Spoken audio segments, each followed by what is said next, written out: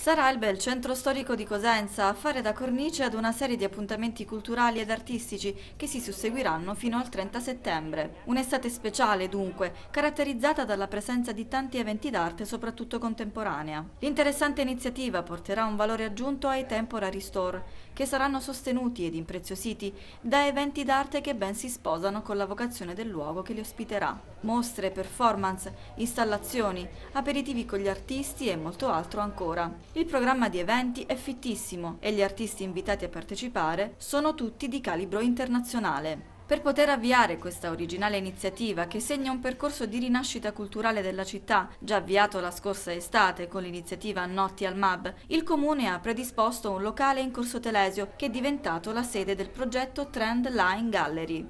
A dare il via alle serate artistiche è stata la personale Città Possibili dell'architetto Ugo Pagliaro. L'artista che vive tra la Calabria e la Toscana fino al 30 luglio stupirà i cosentini con le sue opere dai colori vivaci e metallici e con i suoi progetti di città futuribili. Dal 1 al 15 agosto gli spazi della Trend Line Gallery saranno adibiti all'esposizione Il viaggio di Alice dei performance padovani Adolfina De Stefani e Antonello Mantovani. Dal 15 al 31 agosto sarà la volta di Claudio Grandinetti, artista e scultore cosentino tra i più importanti esponenti della May Nail Art Internazionale. Nel mese di settembre invece ci sarà l'artista bresciana Marina Borghetti che per la serata inaugurale ha previsto una performance dal titolo Dance with Colors. L'estate all'insegna dell'arte si chiude con la grande mostra di uno degli artisti cosentini più conosciuti ed apprezzati, Diego Minuti. Cosenza quindi stupirà, affascinerà e coinvolgerà con degli eventi originali ed unici.